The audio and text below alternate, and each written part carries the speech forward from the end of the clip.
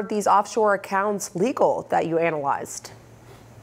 Yeah, I mean, it depends. So uh, these companies that offer shell companies and so forth, they reside in jurisdictions where they are abiding by the laws of, say, the British Virgin Islands or Cyprus or other places around the world. And you're right to point out that there's not anything necessarily illegal about that.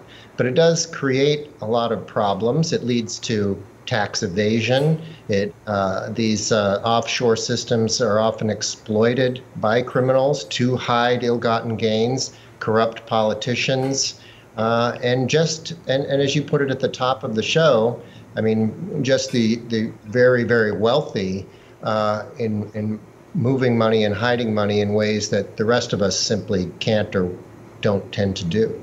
And as you noted in the article, it is interesting to note in the wake of the Panama Papers and the reforms and the scrutiny that came from that, that these practices are ongoing uh, by some of the people that you mentioned. And there, one of those people, of course, is Russian leader Vladimir Putin. There's this headline um, in your piece saying secret money, swanky real estate, and a Monte Carlo mystery. Explain those findings. So, this is a very fascinating story, and I think one of the more interesting stories to come out of this trove of documents has to do with a woman from St. Petersburg who was alleged to have had a secret relationship with Vladimir Putin in the early 2000s. In fact, to have had a child who was possibly fathered by Vladimir Putin and who had a very humble background. Uh, no money in the family, no particular evidence of any financial means for her, but has become astonishingly wealthy ever since this relationship began. And what we found in the documents was evidence of a uh, a multi-million dollar apartment that uh, she acquired in Monaco uh, on the Mediterranean just within uh, a shell company was set up literally a, almost exactly a month after her child was born. And we were able to trace this to a financial firm in Monaco that has done work with other Putin insiders. And so this is a case of how the Russian financial system works, how those who are close to President Putin uh, can accumulate significant wealth, and how they go about hiding it through shell companies uh, to try to ensure that uh, that the public is never made aware of it. And what is the Kremlin saying about this reporting? We gave the Kremlin we gave the Kremlin uh, um, ample notice, more than a week's notice that these stories were coming. Uh, sent numerous emails seeking comment from um, the spokesperson for the Kremlin, and we have yet to get a single response or even an acknowledgement.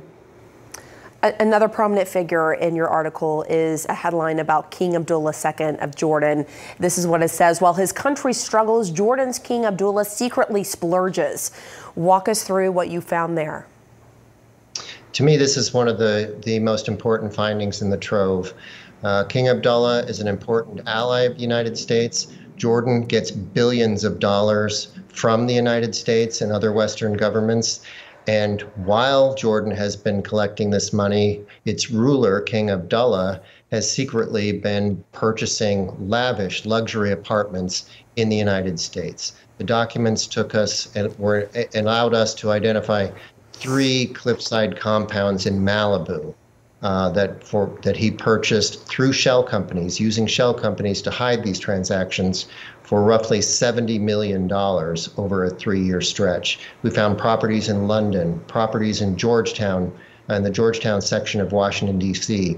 He has been on a decade long splurge in spending on lavish real estate at a time when his country and its economy have gone uh, downhill. There is significant unemployment in Jordan, uh, wages have stagnated there. It's a, it's, a, it's a remarkable story because it gives us uh, direct insight into what the monarch has been doing with his money uh, while the kingdom he rules has struggled.